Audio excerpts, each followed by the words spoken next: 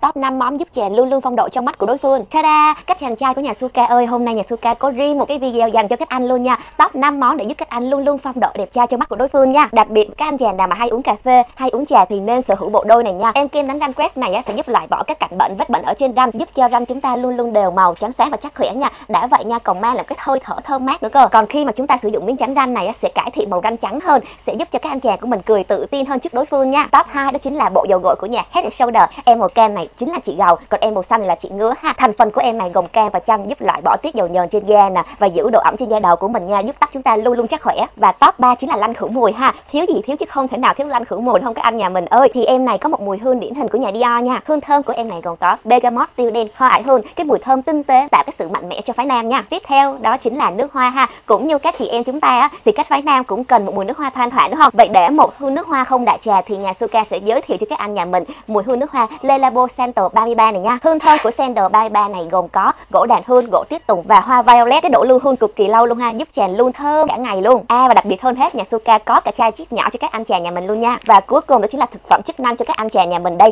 Đẹp lôi cuốn từ bên ngoài thì làm sao mà quên chăm sóc từ bên trong được đúng không? Thì em vitamin One ở đây này á, thành phần bao gồm có 20 loại vitamin cần thiết và 10 loại khoáng chất nha, giúp các chàng chúng ta là ngừa đột quỵ nè, giảm stress nè, giảm loãng xương, giảm mệt mỏi. Nhà Suka cực kỳ recommend cho các anh chàng nhà mình em thực phẩm chức năng này nha. Và đây chính là top 5 sản phẩm giúp các chàng trai nhà Suka cuốn hút hơn trong mắt nàng nha.